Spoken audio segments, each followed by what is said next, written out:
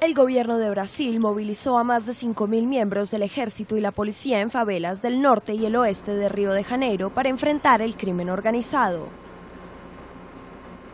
El despliegue involucra a unos 3.600 miembros del ejército, otros 1.500 de los distintos cuerpos de la policía, más de 600 vehículos de la Fuerza Armada y 70 blindados.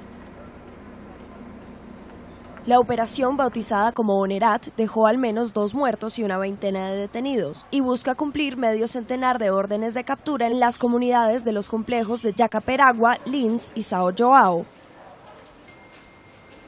El ministro de Defensa, Raúl Jungmann, afirmó que no hay un tiempo máximo de estadía y que permanecerán en la zona hasta que logren bloquear el crimen organizado.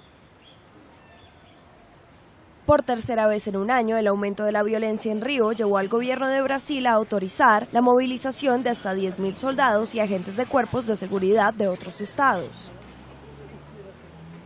La grave crisis económica que ahoga el estado de Río ha contribuido a disparar los niveles de inseguridad, con una media de 20 muertes violentas diarias y 93 policías asesinados en lo que va del año. Solo entre enero y marzo se han contabilizado 1.870 asesinatos en el estado de Río.